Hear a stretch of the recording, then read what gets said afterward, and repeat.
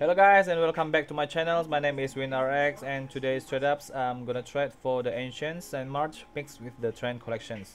So here is the formula guys. I have about uh, I have seven skin factory new from the train, two minimal wear from the ancient and one field tested from the Saint Marc collections. So uh, the total cost for this trade is $4.33 and the average float is 0.05 above. And for the outcome guys we have 10 outcome. If we got the train collection that will be a loss. Um, about 50 52 percent for loss and I think 53 percent yeah 70 uh, 47 percent for the profit. Okay? So now let's do the trade up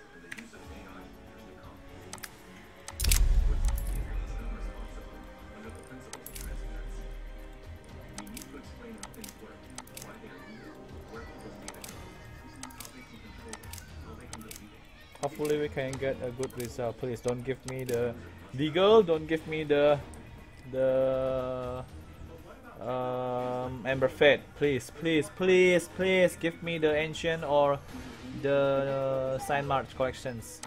Let's do it in three two one. Yes! Yes! We got the ancient collection guys. Nice! This is nice.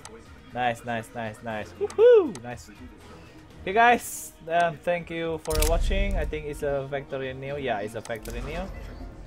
Yeah, nice with 0.01 float. Nice. Thank you for watching guys. This is the second trade. And I just buy the AK-47 uh, Anubis minimal wear and this is from the skin I sold uh, the golden the gold brick. Okay. Uh, thank you for watching. Please subscribe to my channel. See you again. Bye.